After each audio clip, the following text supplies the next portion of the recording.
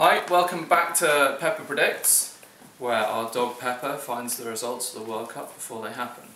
Today we're using a new sample pack from our new Move Easy food, and Pepper will be predicting the results of Spain versus Chile. Bearing in mind Spain had a bit of a shocker in their first match. Who will Pepper predict?